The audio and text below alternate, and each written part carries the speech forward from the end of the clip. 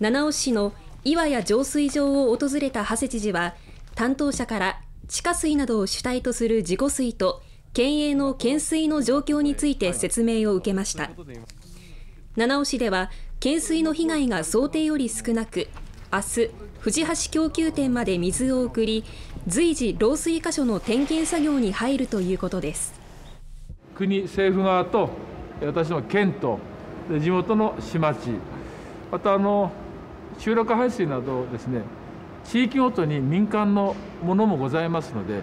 水環境については一体でやっていかなければならないということを私も痛感をいたしました。七尾市では中心部で2月後半和倉石崎地区で3月中の復旧を見込んでいます。